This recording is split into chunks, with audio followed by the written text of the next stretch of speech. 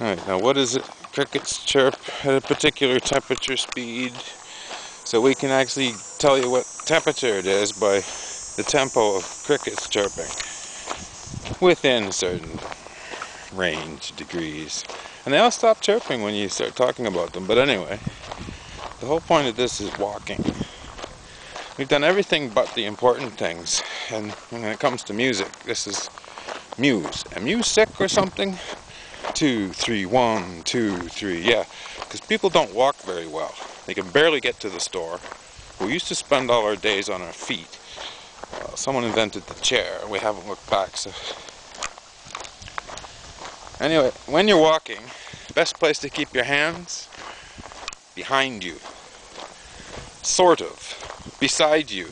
Sort of. So sort of behind you and beside you is where the hands ought to be. Now I've got a thing in my hand was making it kind of hard to put these hands out, but they would be back here somewhere. Yes, they'd be back about there. Tempo, we're going to get to that. That's really important. But time signature. You can't have time without tempo signature. You can get one without the other. Get this, it's a spectrum.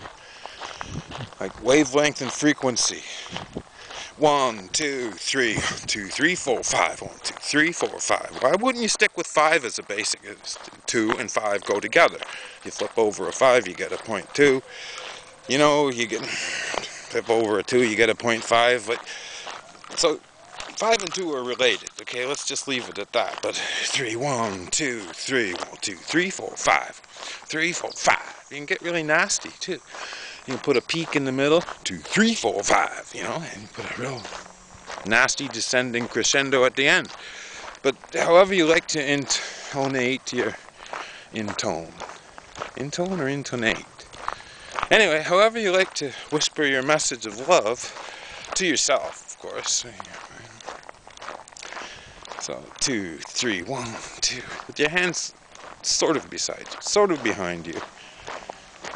I'd say start in something comfortable, but if you start in common time, I can tell you what happens with common time here. One, two, three, one, two, one, two, one, two, three, one, two, three, one, two, one, two. Your right foot always takes the beating. You want to stay in odd meters because it switches them from left to right. And that's how we count. Uh, we won't even count common time come.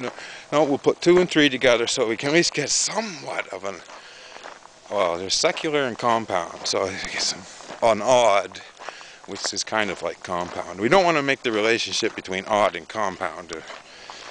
Double up and subtract one. That is the map between even and odd numbers. That's how